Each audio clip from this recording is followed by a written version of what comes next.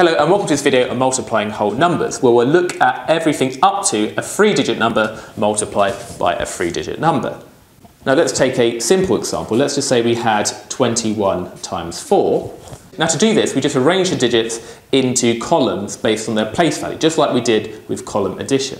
So if we had the 21 and we're multiplying it by, well this is the units digit and this is the tens digit. So when we're multiplying by 4, that's 4 units, so the 4 would go here. So we've got 21 times 4, we're right aligning the numbers. And then what we do is we focus on each of the digits in the second number one at a time. So we're going to focus on this 4. And then what we do is we do each of the digits above multiplied by that 4. So we do the 1 times the 4, gives you 4. And then we do the 2 times the 4, which is 8. Because if we have two tens and we multiply that by 4, we would have eight tens. That's why it stays in the same column. Where it becomes slightly harder is where we have a carry. So let's just say that we had 72 times by 6. We arrange it into columns in the same way. So 72 multiplied by 6. And then we do each of these digits in the first number multiplied by this digit here. So we do 2 times 6, which is 12. Now, this is the units column. So when we have 12, that's two units, but we've got that extra 10, haven't we? So we've got this carry. And what we do with that one is I tend to put it under the next digit here. And that says we've got an additional one here. So we then do 7 times 6, and 7 times 6 is 42. But we've got that additional 1, so that becomes 43. Let's do another example like that. Let's just say that we had 35 multiplied by 9. We've got 35 times 9 in columns like that. We first do 5 times 9, which is 45. So we got 5 units, but we carry the 4 because we had 4 tens. 45, we have 4 tens.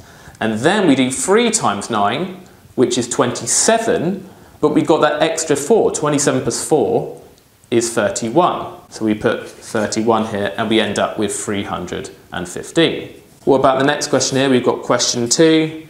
We've got 54 multiplied by 63. Now, as I said before, we focus on each digit in turn in the second number, moving from right to left. So let's focus on the 3 first. So let's do the 4 times the 3, which is 12. We put 2, carry the 1. And then we do the 5 times the 3, which is 15, but we add the extra 1, so that's 16. Now here's where it gets a tiny bit more complicated. When we're going to multiply by the 6 here, notice that 6 there is 6 tens. So we're not multiplying 54 by 6, we're actually multiplying 54 by 60. And because 60 ends with a 0, we could put a 0 by here. And that means we can now do 54 multiplied by 6 and put it here, because then we do 54 multiplied by 60, it, we have that 0 on the end. So let's do 54 multiplied by 6. We've got 4 times the 6, starting from the right. 4 times 6 is 24. So we put the 4 there, carry the 2. And then we do the 5 times the 6. That's 30, but plus the additional 2 is 32. So this number here is 3 lots of 54. And this number here is 60 lots of 54. But we want 63 lots of 54. So we're going to have to add the 3 lots and the 60 lots together. So we then add these two numbers. So I'll put another line here. So 2 plus 0 is 2. 6 plus 4 is 10, so we put a 0 there, carry the 1.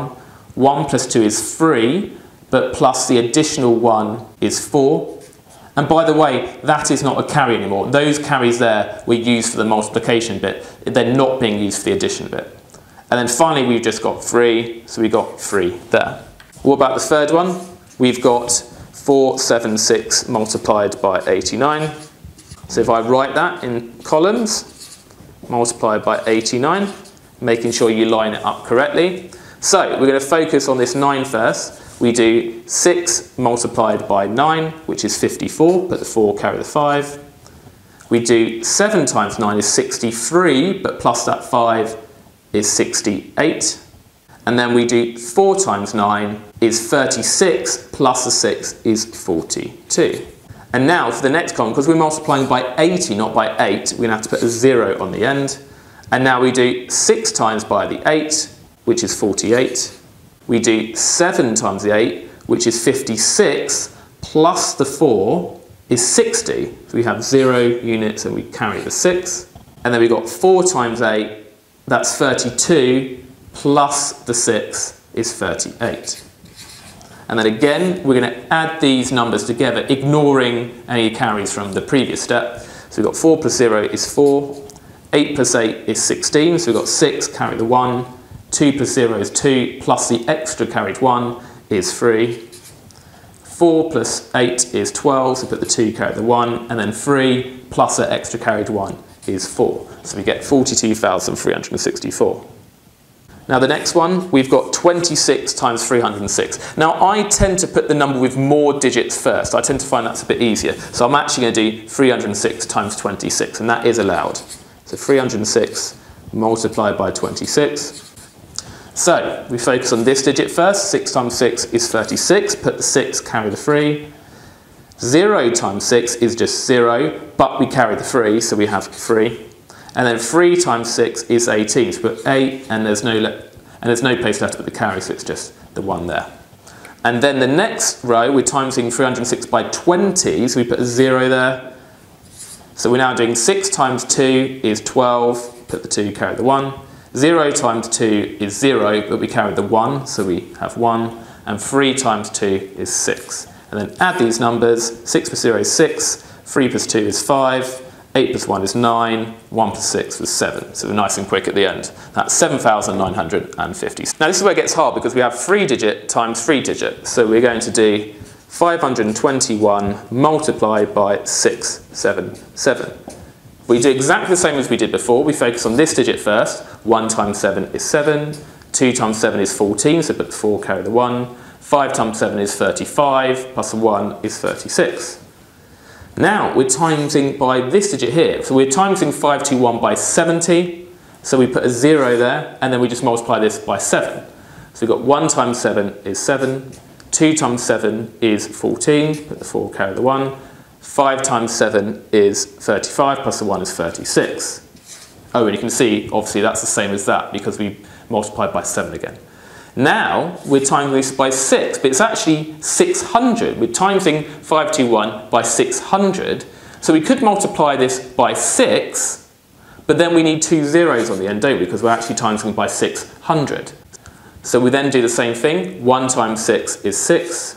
2 times 6 is 12, but the 2 carry the 1. And 5 times 6 is 30, plus the carried 1 is 31. We add these numbers as before. 7 plus 0 plus 0 is 7. 4 plus 7 plus 0 is 11. 6 plus 4 plus is 16, plus the carried 1 is 17. Put the 7, carry the 1. 3 plus 6 plus 2 is 11, plus the extra 1 is 12. 3 plus 1 plus the extra 1 is 5, and then 3 plus nothing is just 3. So we've got 352,717 as the answer.